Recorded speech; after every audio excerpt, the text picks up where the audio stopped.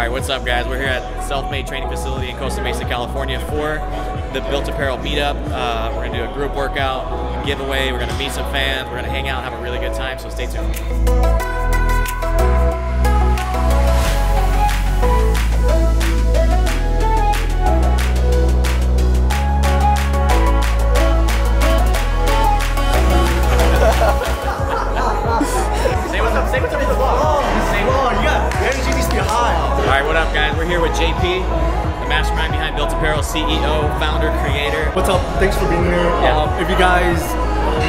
There's so much they don't know behind the camera. I know. But this guy is as genuine as you could meet, pretty much.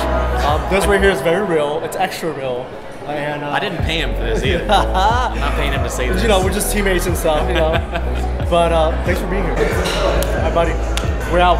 Follow JP. All right, guys, chit chat's over. We're about to do this chest workout. So since I'm one week out, I'm not really worried about building mass or anything like that. I'm more worried about burning as many calories and getting as good a pump as possible right now, even though I'm on pretty low carbs. Uh, so we're gonna start off with some high volume chest work. Probably start off with some dumbbells and go into some more auxiliary work.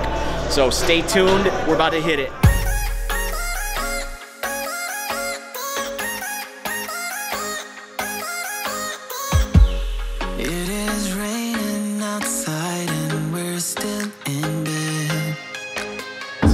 Starting off with uh, flat dumbbell press. Like I said, we're going high volume. So starting off with the 90s and we're going sets of 15 to 20. Uh, probably gonna do four or five sets.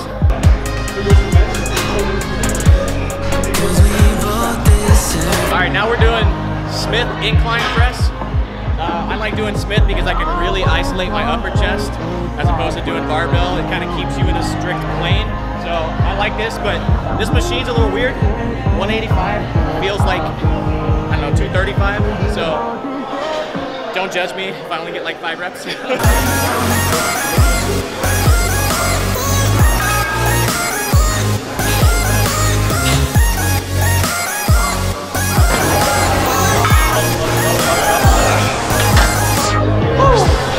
pump is that spinach pump.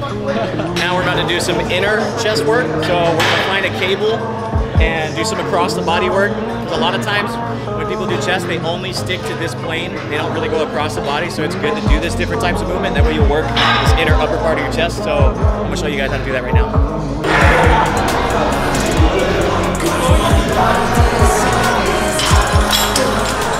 Now that really focuses on building this inner part of your chest.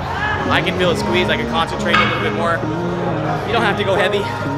Just do something where you can really contract your chest. I like touching my chest whenever I do it. That way, this part of my chest actually becomes a little bit more aware, more active, and it'll actually push back. So try and push back on your finger. Just a little tip.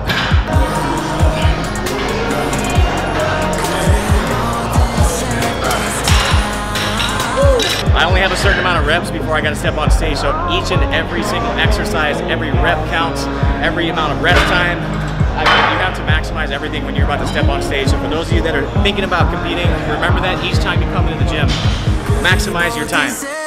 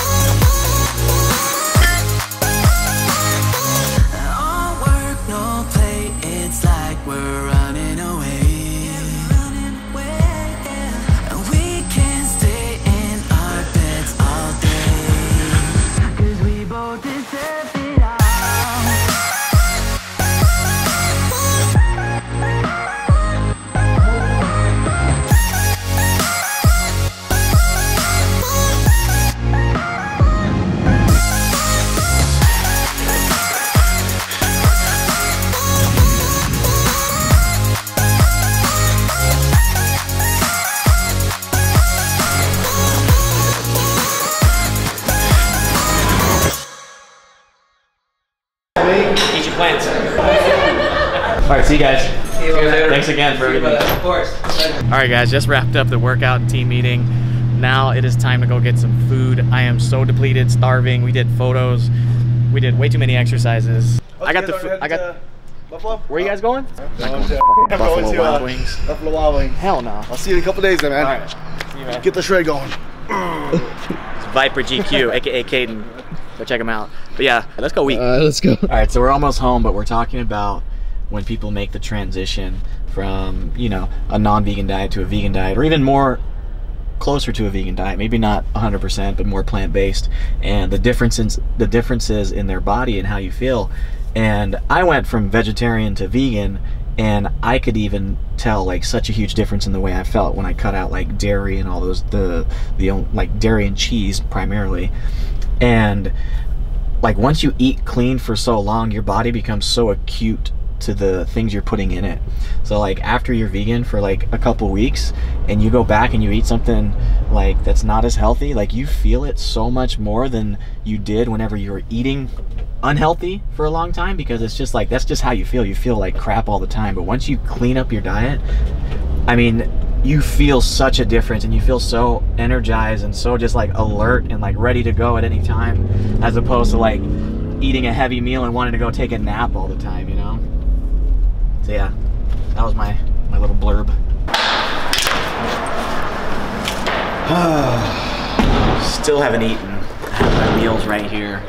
I'm so ready to go upstairs and just eat. So this is what I'm eating after the workout. First of all, say what's up, Bianca. Say what's up to my blog. we cut her mid-bite. Anyway, uh, basically what I'm eating is sh- shredded Beyond Meat chicken. Uh, I love this stuff. If you're listening, Beyond Meat, hit your boy up with a discount code or something. yeah. Is that your last meal? No. How much more amount calories you got? I could afford some. About to dig into my meal. This is actually my second prep. I ate one like really quick because I was starving. So this is my second one since I'm like behind on my calories right now. Tastes good. Yeah. That's my happy dance.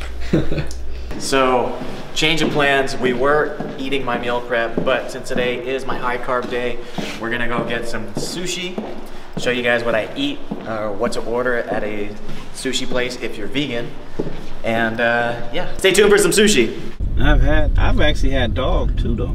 Dog too? Yeah. What? I had some, uh, Like the United States? In the U.S.? yeah, yeah, I had some neighbors. They was from Taiwan. Oh. Just ate it. no. How'd you react? it was actually good.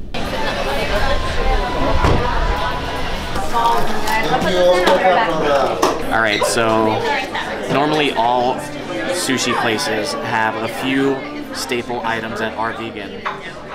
Avocado rolls, cucumber rolls, veggie rolls. Uh, what else? Seaweed salad normally is vegan. Miso soup.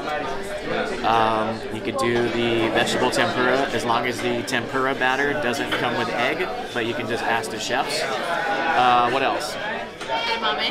Oh, edamame, yeah. It's a classic. And sushito peppers.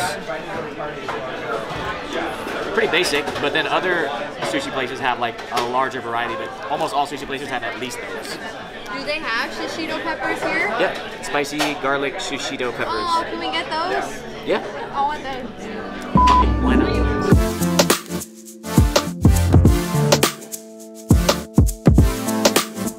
So we just got all our food, this looks so good. These are the veggie um, Avocado and Oh, avocado and cucumber. This is the veggie roll. These are spicy garlic edamame and sushito peppers. And then these are the vegetable tempura roll. So excited right now. All right, so we just finished the feast, and not gonna lie, I'm pretty damn full.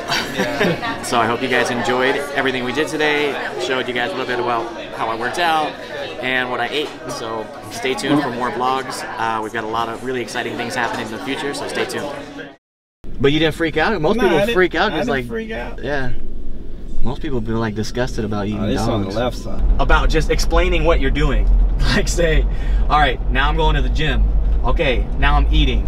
And that's basically vlogging 101. Second place. Sushi, ai. Stop.